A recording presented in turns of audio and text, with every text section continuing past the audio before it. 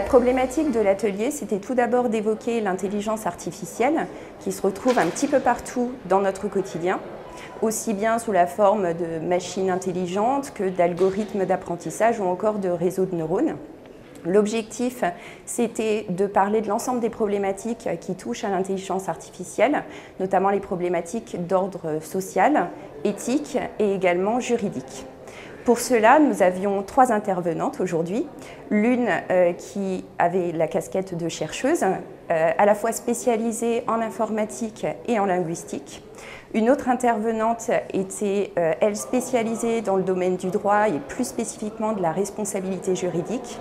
Et la dernière intervenante venait de l'OEB, et euh, nous a expliqué euh, les éléments protégeables dans l'intelligence artificielle, aussi bien au niveau du droit des brevets que du droit des logiciels. Les enseignements et conclusions évoqués durant l'atelier, c'était tout d'abord de faire le constat que l'intelligence artificielle est une notion euh, très difficile à définir.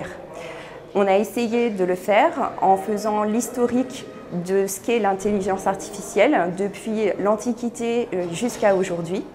Dans un second temps, euh, nous avons évoqué les problématiques juridiques liées à cette intelligence artificielle, notamment qui est responsable lorsqu'elle cause un dommage.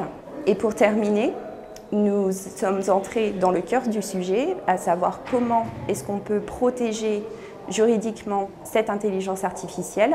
Nous avons vu que l'intelligence artificielle était un instrument composite avec à la fois des éléments protégeables par le droit des brevets, des éléments protégeables par le droit d'auteur et des éléments protégeables par le secret des affaires.